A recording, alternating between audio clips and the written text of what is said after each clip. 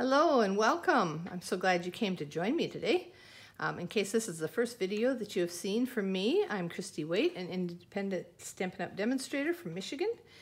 And um, I would be so happy, that would make me so happy if you would um, go to the my YouTube channel and subscribe. That would just, that would just tickle me to death. Um, so what I've been doing in some of my previous videos is I have been using the Detailed Bands dies. So here are the dies. They come nine different dies to this set.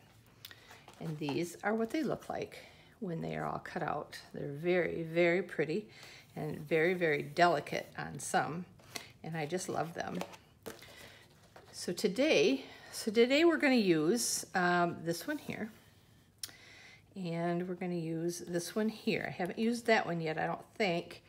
And uh, we're also gonna use this one here. Now, on the previous videos, you may remember that these dies are bundled, excuse me, with the Band Together stamp set on page 121.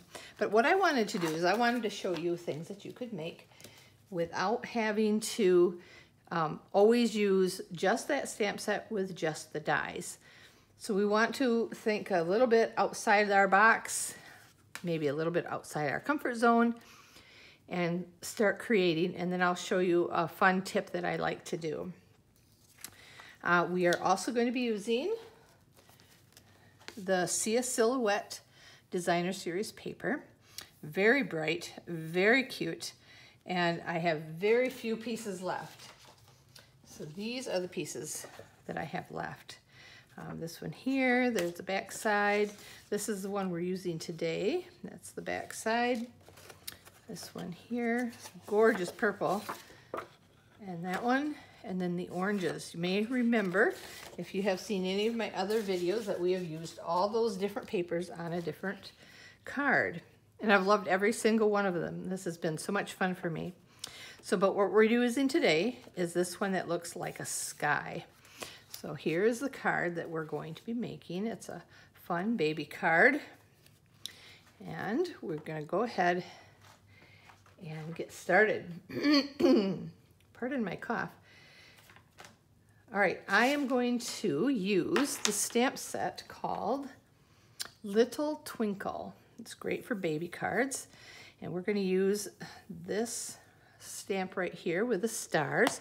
And we're going to grab our Versamark ink. And we're just going to stamp some stars in our sky, kind of randomly. I can kind of see where they are going. if you can see that because it's tone on tone. Can't really see it. Let's put some silver embossing powder on that. Shake that off. Now you can see a little bit better where they're going, but wait till I heat it and then you'll really see them pop out.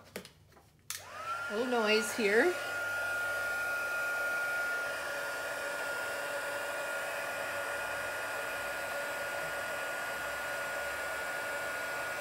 All right, so you want to do is hold it close enough so that you see them start to get shiny. Isn't that cool? Sometimes I think that embossing is my favorite thing to do. And then I'll go ahead and do something else and I'll think that's my favorite thing to do.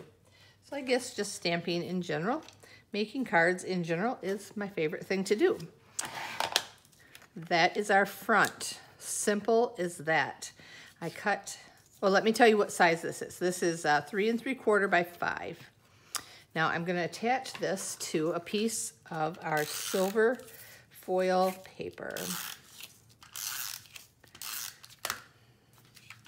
Now, if I wanted to save some money and if I had another project going that I needed, I could cut something out of here because no one's gonna see that when that's on there. But for today, I'm just going to do it this way. Oh dear, it looks like it's the wrong size. Okay, let me double check. Oh, it is the wrong size. Okay, let me give you a tip sometimes when things like this happen, it's really good so that I can share a tip with you. So what I'm gonna do is I'm gonna pull out my waxed paper. And I think I would have started this video over and uh, and just just started over and pretended I never made a mistake, except that this is my very last piece of paper from this this card this uh, designer paper. So let me pull in my cutter, and I want my I want my paper to be three and three quarter inches. So if you could see what I'm doing, let me just get rid of some of that. Okay, so I'm gonna place this at the three and three quarter. So I put it on wax paper. That way, when I am cutting it, it um, doesn't stick to my cutter.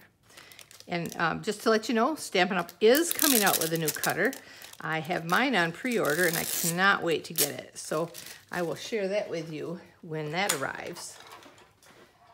So there was my little tip. I wanted it to be three and three quarter wide and it was actually four inches wide.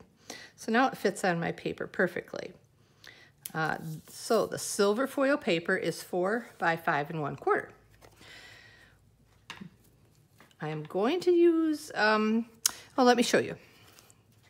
This band, this band right here.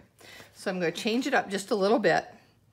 And I'm going to put this band, which I stamped, or I cut out of vellum.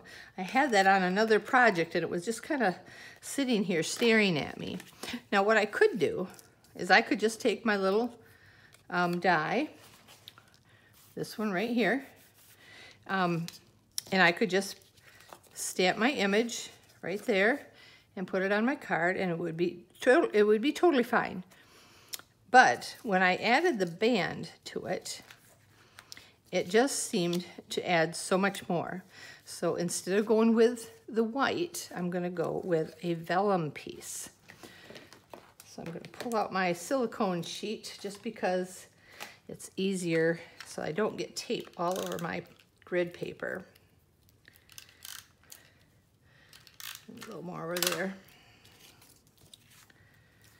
All right, we're gonna center that, place it on, and then wrap it around. And I love how that works. Okay, next thing we're gonna do is we're gonna attach this to a piece of thick Whisper White cardstock that measures